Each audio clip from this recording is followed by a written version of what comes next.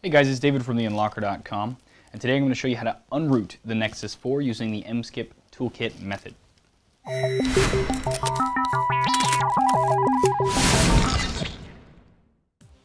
Okay, so first we're going to turn off the device. And then we're going to turn it back on by holding down both volume up and down and power at the same time until we get our fast boot screen like so. Then you're going to plug it in to your computer via the USB cable. And then on your computer, you're to open up the toolkit, which you should have downloaded in our How to Root the Nexus 4 procedure. Uh, if you haven't, go to that procedure via the link under this video on our site. We're to right click and hit Run as Administrator. Hit yes.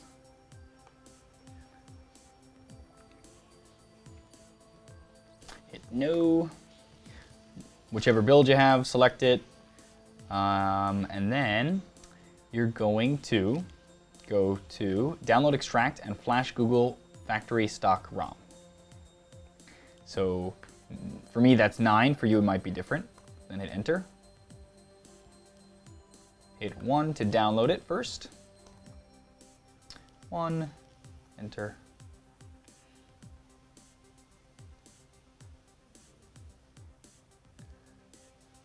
And wait for that to download.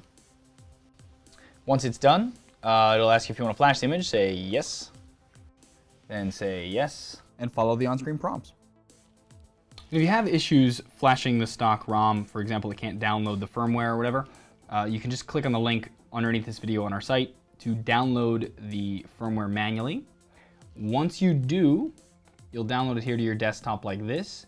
You need to right click it, hit copy, open up your file explorer, then go to C, Google Nexus 4 Toolkit, and you'll see put Google factory image here. Open that, right click, and paste. Then you can go back to the toolkit and we can go to uh, download, extract, and flash Google factory stock ROM again. Hit enter. And now instead of download, we're gonna hit two for flash because we already have it. And then you type yes and hit enter and wait for it to flash. Once it's done flashing the stock ROM, your phone will reboot and try to ask you to go through the setup process. We still have one more step to do before we can totally unroot it, so we're gonna turn it back off. Power off. And once it's totally off, you're gonna hold down again, unplug it for a second.